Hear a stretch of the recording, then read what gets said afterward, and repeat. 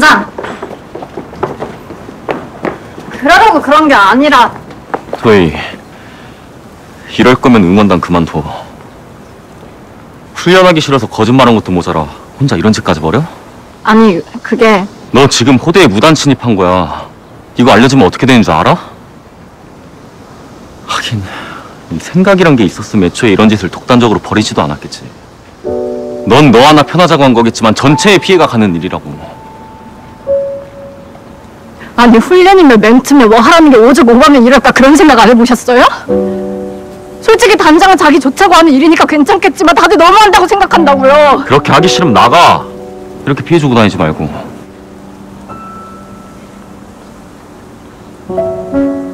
네? 나갈게요 나가면 되잖아요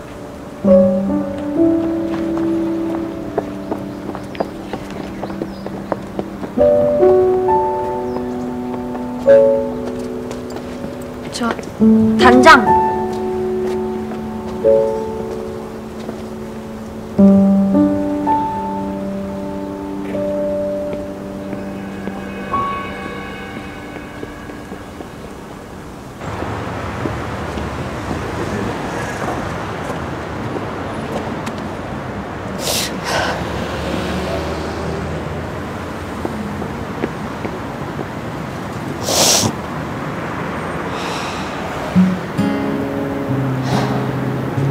나쁜 자식.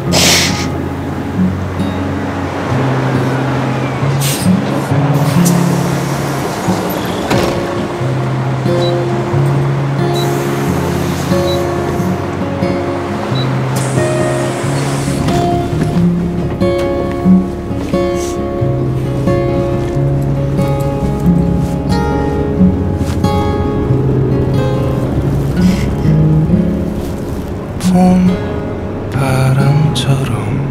감사합니다.